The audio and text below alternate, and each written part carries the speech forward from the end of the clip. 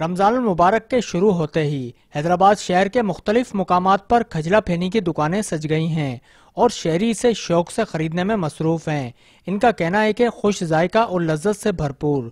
खजला फेनी को वो शहरी में शौक से खाते हैं।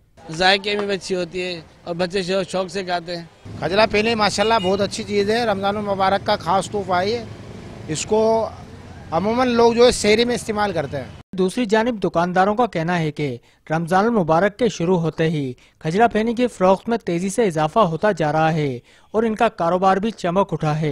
लोग दूर दूर से लेने और खरीदने आते हैं जायका अच्छा होता है रमज़ान में ये वैसे भी चलती है। मैदे और घी से तैयार करदा खजला और फेनी शहर के मुख्तलिफ़ बाजारों में दो सौ रुपए फ़ी किलो फरोख्त की जा रही है। शहरों का कहना है कि खजला और फेनी न सिर्फ़ जायके में अपना नाम रखती है बल्कि ये रमज़ान मुबारक में सेहत के लिए भी मुफीद हैं। कैमरामैन जमील अहमद के साथ आशिक हुसैन शाह ट्वेंटी न्यूज़ हैदराबाद।